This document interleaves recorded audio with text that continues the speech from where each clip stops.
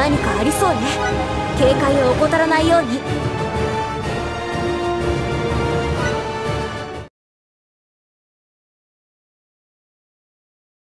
天聖の種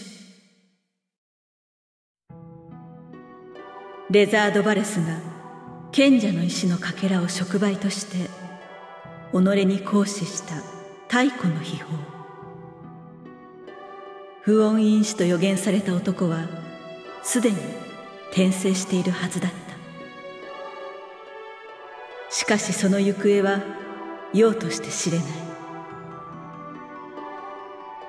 私の力でも気配を突き止めることができない。それは人格記憶思想いずれかまたは全てに変化が起きている証拠だった。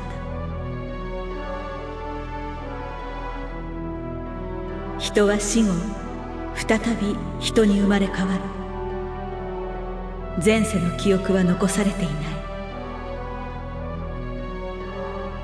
それが自然の摂理。天性の種が摂理と同じならばすでに彼は別人の可能性。討伐対象ではないとも考えられたのだが女神フレイヤの予言。彼女の憂いは未だ消えていなかった。